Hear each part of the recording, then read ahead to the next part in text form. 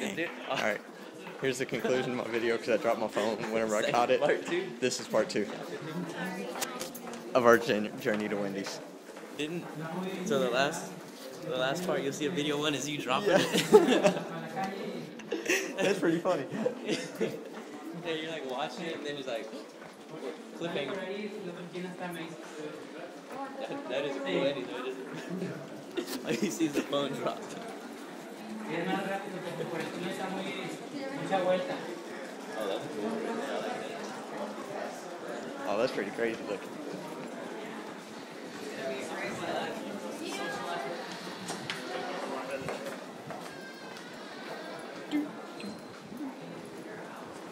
Still nobody in the tunnels.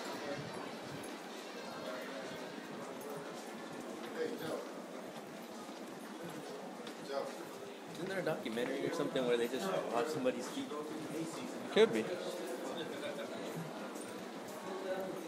That's what the second half of the video was. No, it was a TV show I saw where they just recorded feet. It was like, We had to just pick somebody one time and just follow them all the way through. and there's Wendy's. But now I'm gonna stop because I'm gonna get my food and eat. The reason this is in two videos is because I dropped my iPhone the first time, but I caught it. Whenever I caught it, I hit stop. God is love. Rev run.